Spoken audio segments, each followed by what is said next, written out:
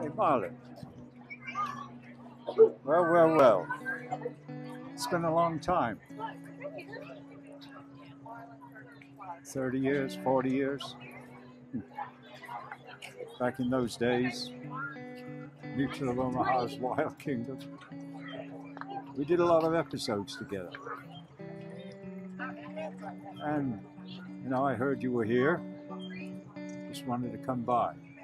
I've been doing this uh, remote area medical thing for quite some years since you and I last met. It's been a long time since those days when you and I were doing Wild Kingdom. When I first met you down there at, at the Dadanawa Ranch, the Big D Ranch in South America. And, uh, and you brought me to this country. So you know what? You're really the guy that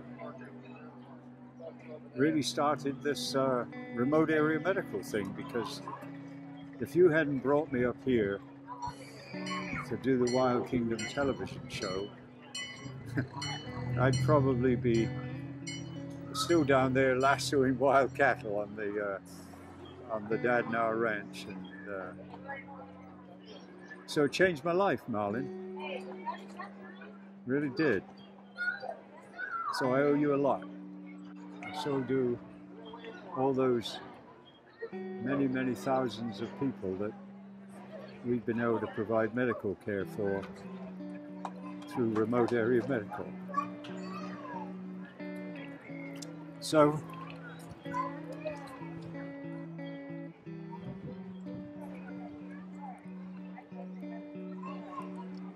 we'll meet again sometime. Good seeing you.